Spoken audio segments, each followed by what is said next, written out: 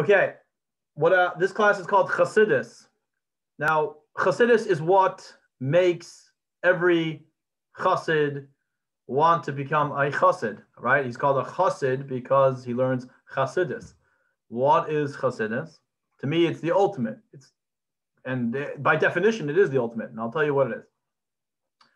What happened was during the time, every generation has its um, the, the Talmud says every generation has its own special mission. So the first generation, which is the generation in the desert, which we're learning about in the Parsha, they're called the Dor Dea. The generate the Gemara calls them the Dor Dea, the generation that knows.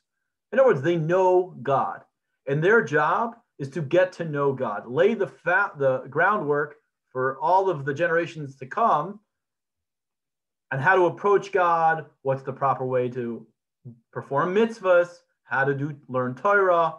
They live in a existential state of godliness. They see godliness at all times, and um, they're called the Dor Dea.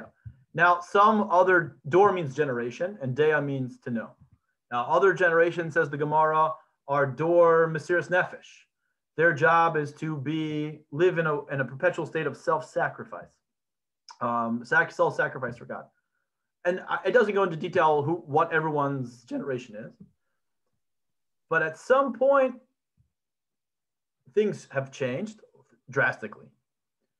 The the Gemara says the time before the arrival of Mashiach is called Ikvisa de Mashiach, the heel of Mashiach, the heel, H E E L. What is the heel on the body? The heel is the least sensitive part of the body. It's the bottom of the body. So therefore, godliness is the most concealed, the least sensitive generation to godliness, um, and the one that feels God the least. And we see that in the, in the, in the times of the 1600s, that um, and most of the, the Jewish world accepts this, meaning the from religious, Orthodox world that uh, the, the Jew, it's described that the Jews were in a state of hisalphos, which means fainting. The Jewish state of the Jewish people was in a state of faint, that they were, when a person faints, he's like in and out of consciousness. In other words, he's really not in touch with his soul. He really does, he really has no idea what's going on. Um, so Yisrael Baal that was his name, the, the, the Baal Tov lived in the times of just after the times of 1649, 1648, lives in that period in the town of Akop in Ukraine. He introduced what the gener- the generation's um, mission is. What's the what's the mission of the generations?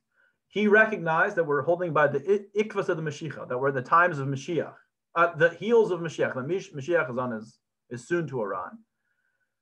And it's time to reveal something that has never been revealed before. So everyone speaks about Kabbalah now, like Kabbalah is no big deal. But what you have to understand is Rabbi Shimon Bar Yochai, who was the rabbi who wrote down the Zohar, the fund- fundamental work of, of, of Kabbalah, didn't teach that book publicly. You couldn't just walk into his academy and learn the Zohar. It was passed on to sage, from sage to sage. And it was in a hush hush tone because people felt like it would be misused or misunderstood. So for thousands of generations, it was kept secret. Now there were there were called mikubalim, people who understood Kabbalah, called mikubalim. Um, a very famous mikubal is the Arizal. If you ever go to Israel, especially the city of Tzfat, which is a very holy city, though the doors are all blue. It's a very Kabbalistic uh, keeps away certain types of bad spirits, for lack of a better word. Um, he began to teach the Zohar a little bit more freely. He was he received it. Now everybody studies the Zohar. I mean, yeah, the Zohar, and everybody accepts the Arizal. That's his name, the Arizal. Um, and he began to teach it a little bit more freely and open. And his student, Rabbi Chaim Vital, wrote it down, his teachings. Rabbi, uh, the Arizal actually died at the age of, I believe, 36, didn't live very long. So it, he began to open up the channels. Then came Yisrael Baal Shem Tov, for lack of uh, other things that happened in between. Then Yisrael Baal Shem Tov came, and he saw that it's time to start really revealing this on a whole new level. And the Gemara says that if a person is in a state of faint, you you whisper their name. If you whisper their name, like we spoke about yesterday, the, the name is external, but it's also connected to the essence of the person, right? It, it encompasses the entire person. So it says if you whisper their name, it wakes up their essence, so to speak. Jews are called Yisrael, Bnei Yisrael, children of Israel. Who was Israel? Israel was Jacob. We're all children of, of all the Jews are children of Jacob. Yisrael, by, the, by his very being entering into this world, he, um, he is called by the name Yisrael, which is what the name of the Jewish people are. And it's, so to speak, awoke, woke, awoke the Jewish people. And what he began to do was disseminate these secrets of the Torah. More than that, it's the essence of the Torah. Now, some of it is very hard to understand, and it's incomplete until Mashiach comes. But there's a famous story about what exactly Chassidus is and why it wasn't revealed and what it's supposed to do. One day there was a king, and he had a son, the prince, who got very sick. And all the doctors in the world came to try to heal this prince. And nobody was able to find a cure.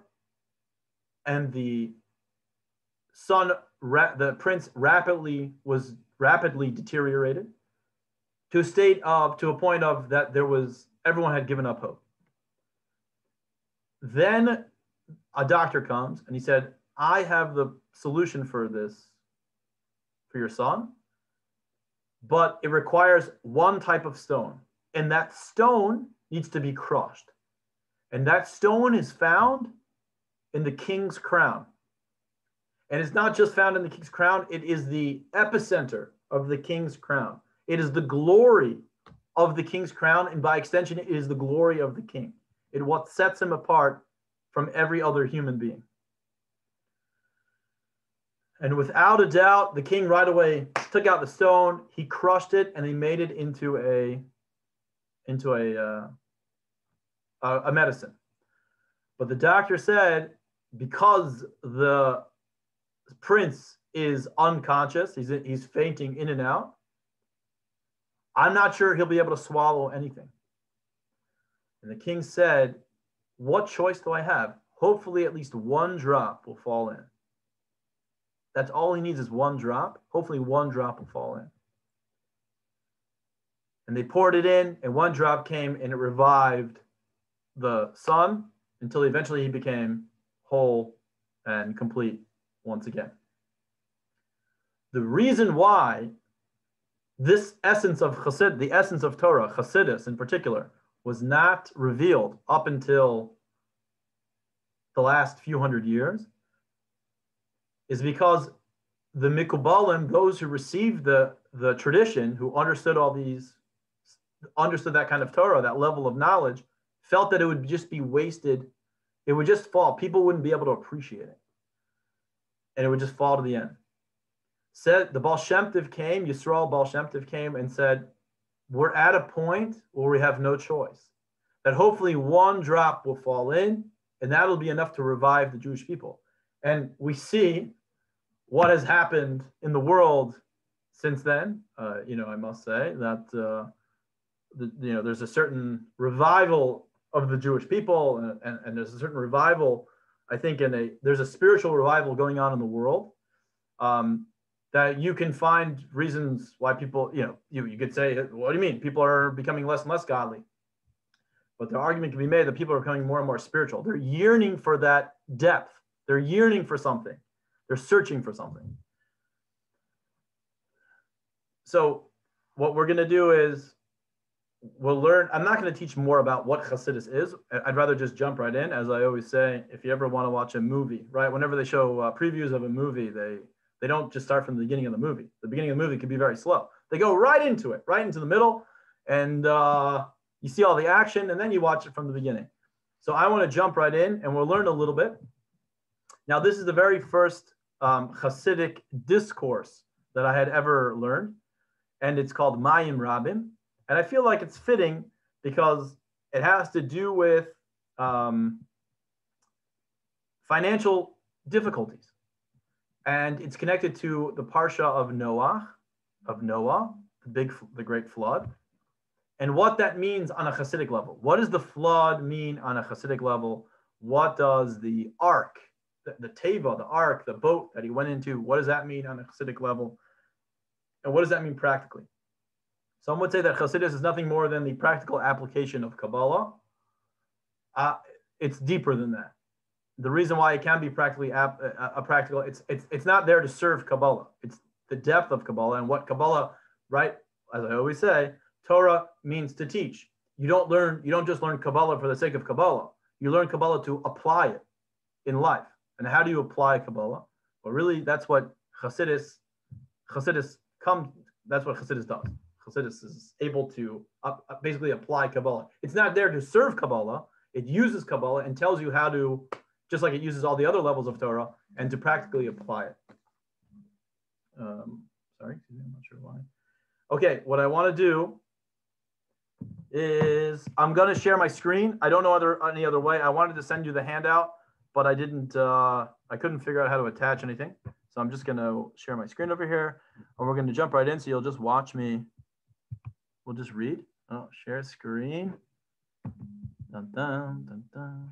All right, now you guys see what I see. Um, where is it? It's not here. Here we go. Okay, sorry, it's not perfect. Now, this Hasidic discourse was said by the Lubavitcher Rebbe in 1977 from his room. He had a heart attack on uh, Simchas Torah on one of the holidays, and he was in his room, and it was Motzei Shabbos, Parsha Noach. Motzei Shabbos meaning Shabbos had went out, Shabbos is over, and he went into his room. He was in his room, and they set up a hookup, and he said this Hasidic discourse from his room. Now, we can't just make up Hasidic discourses called Ma'amarim. You, you, that's what a Rebbe does. That's what a leader of a generation does. The Nasi, which is a leader. We can't just make that stuff up. Um, but we, we won't get into too much detail about that right now. Let's just go right into it. And this is what it says. It says in Shir HaShirim, in the Song of Songs by King David, in Hebrew, it says, Mayim rabim lo yochlu lichbeis hanaharis gaimer. It says, the many waters cannot extinguish the love and rivers cannot wash it away. In other words, Rashi explains that neither the mighty nations nor their leaders will ever succeed in washing away Israel's burning love for God. In other words, when a person is involved in uh, worries, that's when he begins to uh, his love for God begins to wane. Yeah, when when you're in a relationship and it gets a little bit rocky, you feel a little bit insecure, and you your love for the other person begins to wane. As they would say, when people would come on the boat into America, yeah, the, they would say the boat gets the boat felt a little rocky as they were pulling into Ellis Island, you know, near the Statue of Liberty. And what did the, people were like? Oh, we have to make the boat lighter. And what was the first thing they would do? Is they would throw in their um, mitzvahs like tefillin, yarmulke, you know, as if to make that lighter. It's a joke, but uh, in other words, when things get a little bit rocky and a little bit tough, the first things usually to go are your belief in God and whatnot. But here it says that with the Jewish people, it cannot be extinguished. So let's keep let's let's look inside. Many waters. What does it mean, Mayim Rabim? So explains our masters and their discourses.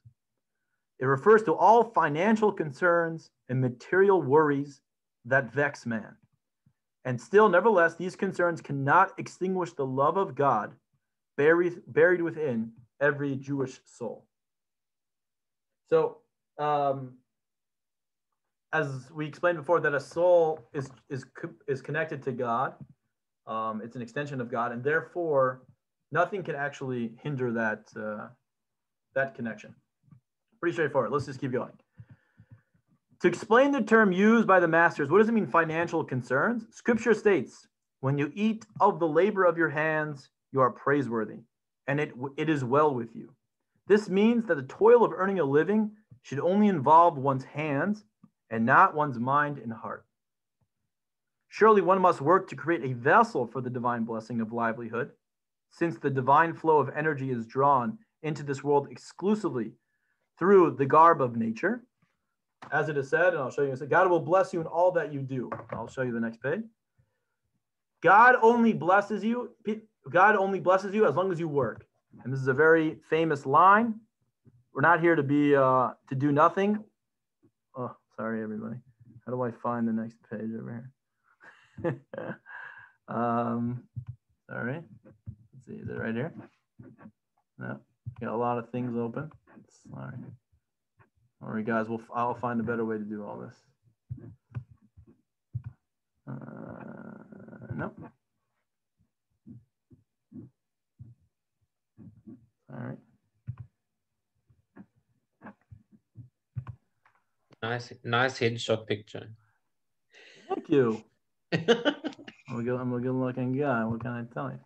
Okay, God will bless you in all that you do. So, what does that mean? That means the only way you cannot just sit on your hands and uh, God will provide for you. That's not how God set up the world. That's not what God wants. So, there's a famous question Is a doctor allowed to operate? Isn't by being a doctor saying that God cannot heal you? Like, and there are people in this world that will say, I will not bring my son or daughter to a doctor because I believe in God and I trust in God, and God will, if God decides to take this person, take this person. If not, not. Decides to heal this person, heal this person. If not, not. Says the Torah, no. Everything has to be done through nature. God will bless you in all that you do. You have to do. Now, the blessing for there to be success, that comes from God. All we do is make a vessel. Now, I always talk about vessels and light. That is a fundamental concept in Kabbalah and Hasidus. We're here to make vessels, and God will provide the light. So, how much money you're going to make is not dependent upon you, but you have to make a vessel for the blessing. That's why every time a person, they, there's a famous saying, God fulfills every blessing that you make.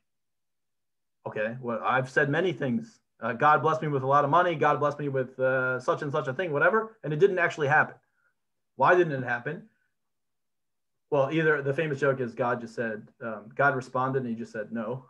it's like a classic, a classic joke. But the but in other words, but no, nevertheless, God does God does provide it, but it doesn't. You didn't make a proper vessel. The vessel itself is not is not fitting for the blessing to come down yet. But it nevertheless, God is pouring um, blessings down at all times. We just have to be in a state to receive it. So God will bless you in all that you do. God wants everything done through nature. God wants you to put in the effort, and then you will receive the reward. That's classic fundamental Torah concept.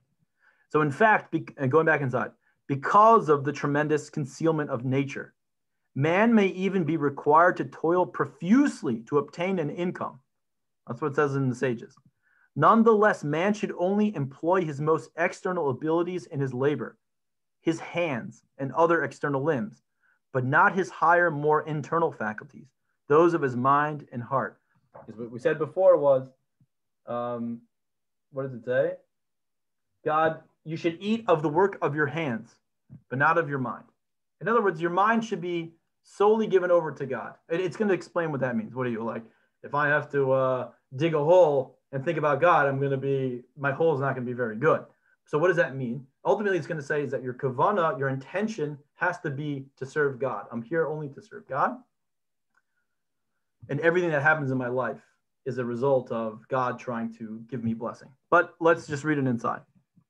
Indeed, these faculties must be designated solely toward the service of God the why and wherefore of man's creation. In truth, man is required to utilize his intellect in his work, since the divine flow of energy is concealed and obscured within the garments of nature. However, he should do so only to the extent necessary for his work. He should not use his mind as a tool in devising schemes and developing strategies merely to attain greater and greater wealth. We're not here, there's nothing wrong with becoming rich and wealthy. There's nothing wrong with that. But that is not a goal in and of itself. I'm sure we all appreciate that. If you're here in this class, I'm sure you appreciate that uh, you're spiritually sensitive. You're a spiritually sensitive person. That money, although we need it and we'd like to have a lot of it, it's not our goal, end goal in life. And that's the right thing because money is nothing more than a tool to be used. We're here to serve God. And God is the one that provides for us. So to to sit your whole life and figure out how to make more money and more money, you're not using out your mission. That's not your your mission in life is to serve God, not to make money. Not God will provide what you do, and you need to work in order to get it. But that's not the end goal. So, in fact, investing, uh, moving on, investing one's mind and heart into one's labor is futile. This is a pretty extreme statement. Since God's blessing is what enriches. That's a quote. Whereas one's occupation is only a garment to contain this blessing. Not, the, not that one's job actually creates wealth, God forbid. So delving excessively into the garment of one's occupation is akin to wearing excessive clothing, which does not provide benefit, but on the contrary, does greater harm. Now, creating what happens is like this. We, what we're saying is you create a vessel, a garment for the blessing to come in. Now, your job is to make sure it's a proper garment, not to create many, many garments. Yeah, if a person starts putting out what it's saying over here is a person creates too many garments, too many vessels, it's going to become very heavy. It's going to weigh you down, and that you you might even get the blessing, but you're going to be carrying this whole other load in of itself. And and I think we I think we see that people who are obsessed with certain things, their image or money, it weighs them down. It becomes now I have to keep up this image or I have to continue this wealth because my whole self worth is tied into this. I think my whole self worth is tied into how much money is in my bank account, or how much, or how how I look on screen. And if any way if that becomes diminished in any way, then I'm worthless. Says the Torah, you fool. That's not where worth comes from. And all you you're you're putting that upon yourself, and you're you're bringing yourself more anxiety and more stress over nothing, over no benefit whatsoever, over a futile benefit. Does anybody have any, any questions? So this, this is delving deeper into, and it seems very simple, right? But this is actually, this is novel. The people, the sages of our generations didn't didn't read things like this. In other words, we're we're looking at one passage. It says, "Mayim Rabim," the the the the waters of financial stress cannot wash away the love of God. That's what King Solomon says. And they really didn't delve much into it. That was like the, the depth of the explanation, except for some people. This is actually looking deeper into what does that even mean? And we're going to look, we're going to take apart the words of the actual um, passage, and you're going to see what, uh, you'll see it more on a depth. This is, I guess, this is more of an introduction. Does anybody have any questions? I mean, it's pretty straightforward, I guess.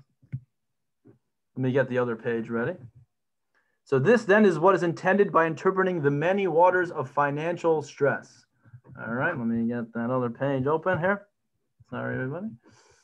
Um, where is it? Uh, let's try this one. Yep. Financial concerns, the many worries of financial concerns.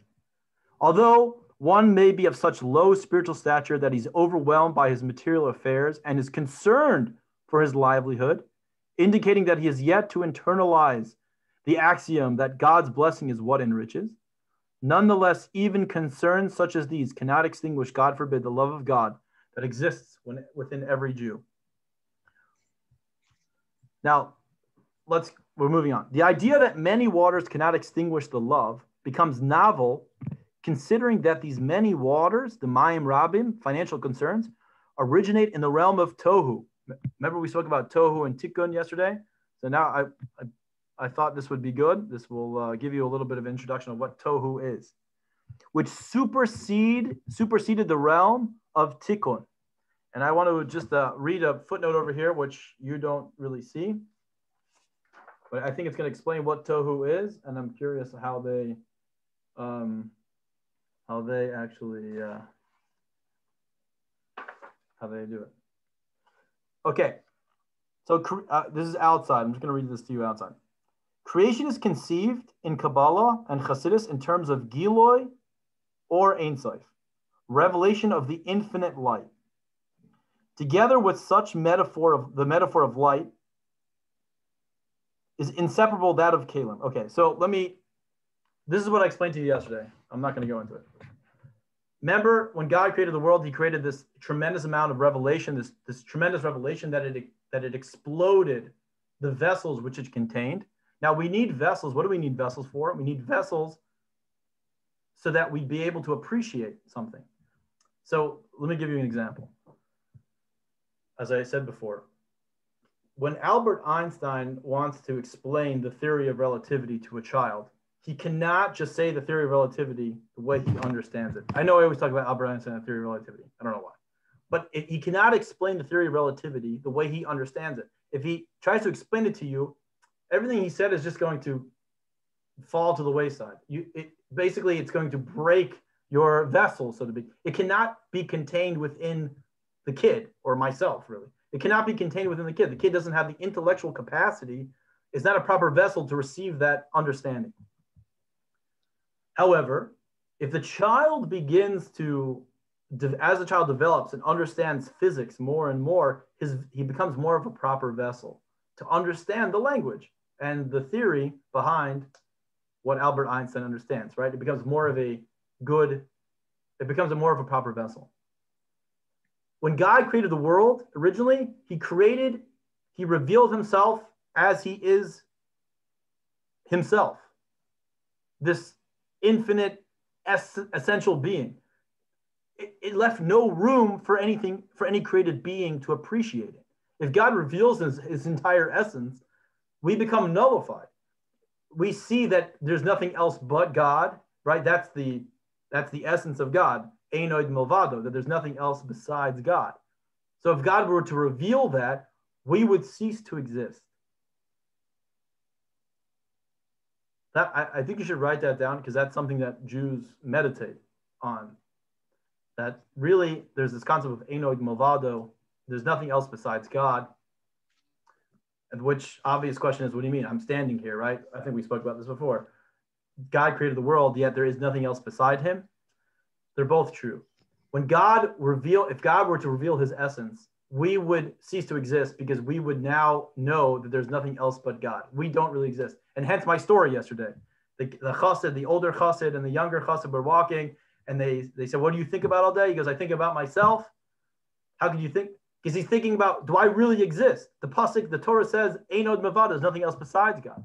Now, anyway, when God first created the world, that was revealed.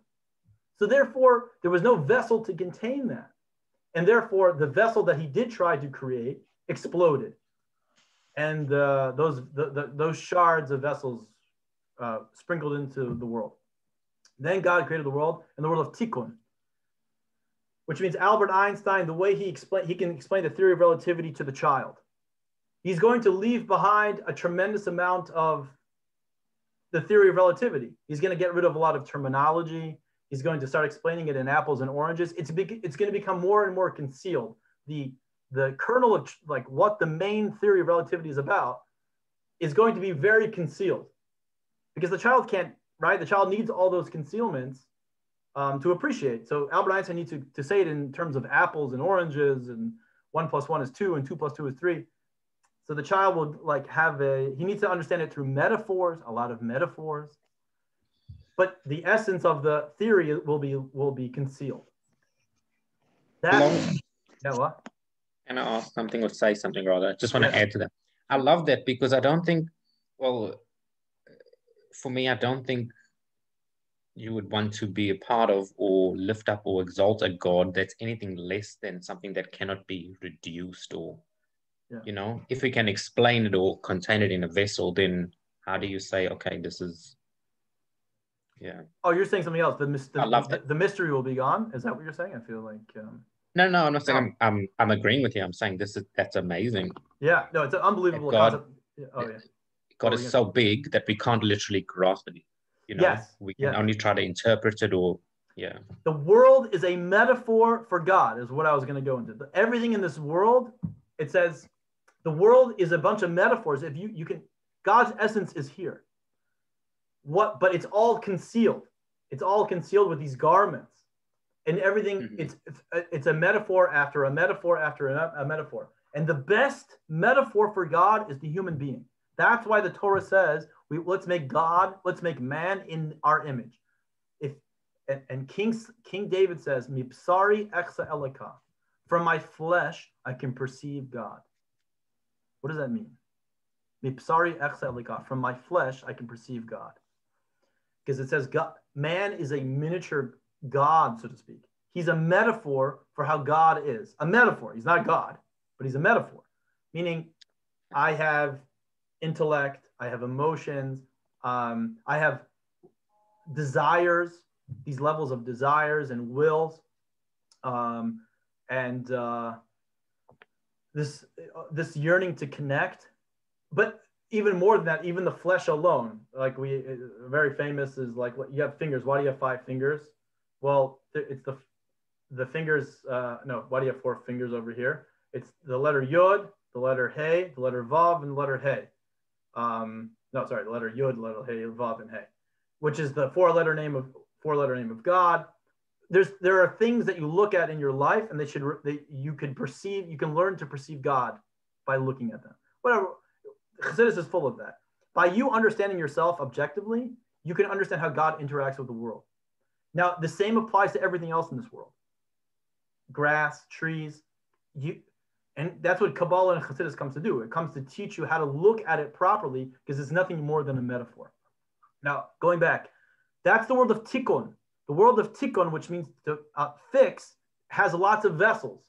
And it's there so that we be able to appreciate God. We're like a child to try to appreciate, because we can't appreciate God the way God is. But What happens is, Masak and Olam, the whole goal is now, what Chassidus is coming to reveal is how, the, how all of these vessels are merely expressions, are metaphors of God. And you can, you'll see how God really never left. Um, and how God is here and God's essence is here. It's just covered over. So we're piercing through the layers. We're moving through the layers. Um, another example that it, that Chassidus very often gives is the a ray of the sun compared to the sun. A ray of the sun is nothing, or a drop of the ocean compared to the ocean. A ray of the sun, let's go to the ray of the sun. The is the is a ray of the sun not what we see is a ray. We don't see the sun but it is an extension of the sun. It is nothing more than an extension of the sun. The whole entire essence of the sun is found within the ray. Now, if that ray goes through um, a colored window, does that change the sun in any way? It doesn't change the sun in any way. It just it just changes the way we perceive the sun. But the sun itself remains is not changed. It's it remains the same as it was before. That's what happens. The, the, all these four worlds that we speak about in Kabbalah and Chassidus, it's God's essence going through um, more and more vessels, and the it's all about the percent. But who who does it change for? It changes for the one receiving the revelation. It's about the, their perception. God looks down and he sees no change. We're the ones that see the change. If Albert Einstein were to give um, explain the theory of relativity to a, a seven-year-old child properly, he'll see in his metaphor that he gives to the child to explain the theory how everything, a perfect metaphor would have, there would be nothing missing from the metaphor. Albert Einstein can look at the metaphor and see the entire theory of relativity, so to speak. He just explained it in a, in a different vessel, but the entire theory is there if he was really good at it. Um, you know, just like when we want to explain two plus two is four. Now, two plus two equals four is a more spiritual concept than holding two apples and two oranges and putting them together, right? Two plus two equals four is only in our brain, right? We, you can't touch two plus two equals four, but you can give a metaphor for it. I'll bring two apples and two oranges and put them together, and uh, I'll appreciate two plus two is four, right? You you basically materialize the concept of two plus two equals four into apples and oranges. So when you look at apples and oranges, you see the concept of two plus two equals four. You you can you can appreciate you, nothing is lost. It's all there. Now the child still might not imagine two plus two equals four, and he thinks of it as, as apples and oranges. And hopefully, eventually, he'll understand that it's really just an intellectual concept, right? That's maybe I lost you a little bit. Does that does that make any sense? I don't know if anybody makes sense. Oh, let me see. Let me Somewhat. See. Okay, I'm sorry. Maybe that last like apples and oranges. apples and oranges. Okay, I apologize. Uh, wait, am I supposed to be letting somebody in here? It's a little bit too late. Um, okay, I don't want to move any further. I think I'm going to stop right there. But I think there's more than enough to meditate upon in Chassidus, and we're just scratching the surface. That um, um, can I Yeah. ask, please? yes, please. Can we go back just a second? You Oh. said, um, Yeah. I guess you underst- explained a little bit about tikkun. yeah, What was the other word? tohu. Tohu. Yes. Can you explain a little bit about that? Yeah, tohu. So tohu is when God when God first created the world, he created um he created his essence, so to speak. He created it, he just he revealed his essence. He created the, the world, he created the world and then revealed his essence. Well, then everything shattered. There was no the world wasn't a vessel to receive that yet. It's like the, it's like Einstein explaining the theory to a seven-year-old the way Einstein understands it. The child's not going to understand anything. It's just the child will just sit there and like awe and have no idea what you're saying and no idea what you're looking at, so to speak. So the Mhm. so the same thing when God created the world, it's a little bit different. But when God created the world, what was revealed? The truth, the real absolute truth. And what's the absolute truth? That there's nothing else besides God. Eight, there's nothing else besides God. That God is the only true existence. So by definition, everything, so to speak, became nullified because everybody saw the truth of where they come from, the, the truth of what they are, that they're really nothing more than an extension of God. But what, but in a certain sense, what ended up happening, I guess I'm getting a little confusing, but what ended up happening was the vessel, the, the, the vessel broke, so to speak. The vessel to appreciate that there's nothing else besides God shattered. It's, it's a spiritual shattering. It's spiritually shattered. But God left those uh, um, that sh- those shatterings, those remnants, um, in the next world that He created, which is the world of Tikkun. It was all by design. God did this on purpose. That tho- that um, those shards are left in our world. God then created a new world called Tikkun, which is many, many metaphors. Right? Again, this idea of many, many metaphors. So so that we uh, we don't see God's essence. In fact, we see concealment. It's the opposite. We see a lot of concealment, but really they're concealments in metaphors. It's God just created one metaphor after another metaphor. Yeah, he you wanted to take a very lofty concept such as God's essence, and you wanted us to be able to appreciate it. You need to you need to hide it. You need to um, say it in better say it in better words, words that'll be easier for us to grasp and appreciate and understand um, right? And like Albert Einstein, if he wants to explain the theory, he has to explain it in much easier terms. He's probably going to use more words, and he's going to draw pictures, and he's going to uh, you're going to move it, move you're move, moving further and further away from the way Albert Einstein understands it himself. Um, and so therefore you're going to be more and more metaphors, more and more metaphors, more and more concealments. You're moving further and further away. That's the world of tikkun. But what's cool is God left the um, that shattered glass, so to speak, that shattering of his essence, he left it here in this world that we can find it and we collect it. Those kernels of truth in everything that we that we were talking about, there's like kernels of truth in everything. We're there to collect it and and make it and fan it and make it brighter. So that's called when Tohu and Tikkun will be reunited once again. That we'll understand Albert Einstein's theory the way he understands it. We'll appreciate God's essence we'll appreciate God the way he understands himself, and yet we'll still be able to remain human beings, like without becoming nullified. Yeah. okay. Yes. Just, uh, well, but by the way, it's a good explanation, actually. Uh, Yeah. Yeah. Every week we're going to learn more and more about that, and it'll become more and more clear as time goes. It's a wild concept. I mean, it's like, it's like There's so many layers. very a lot of layers and, and, and this is by the way the goal is to meditate you meditate upon what is meditation in judaism you think about it and you apply it to your life and you, you just constantly think about it and you reconstruct it in your mind and your, your world will change the way you start looking at everything begins to change um, problems are not problems anymore I, I mean if you're i'm not saying i'm perfect and i don't have my moments i have an animal soul you know i have a part of me that's like the animal soul's like okay, like you're moving. This is like too lofty. You're not understanding what you're saying. Get me a pizza. I mean, I believe me. You, you'll have moments like that. I have moments like that all the time. But nevertheless, it, it lifts a person up. Chassidus will lift you up above, above issues and problems Um, and uh, yeah, it's, uh, okay. Good. I, I, you'll get the audio, and you guys can listen, listen to it again. But we'll. This is what we're going to talk about every week until it becomes ingrained in your mind, and my mind as well, by the way. you know. Okay. Okay, everybody. With that, I'm going to stop here. Um, we'll move further in the in the in the in the maamar, what's called the Hasidic discourse, called the maamar, and uh, more and more concepts will will come out, and we'll learn more and more concepts. Okay, be well, everybody. Thank, Thank yeah, you. no class tonight. There's no class tonight. No class tonight. Okay, be well. Thank you. No problem. See you, Samantha. Bye. How do I stop?